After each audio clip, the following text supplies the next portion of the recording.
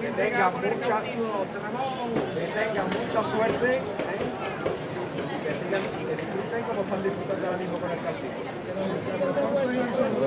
Eso va a ser complicado, Ramón, pero venga, va por ello. Vamos a verlo todo por igual valiente.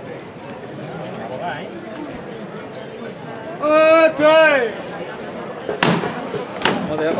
Venga, vamos, vamos, venga.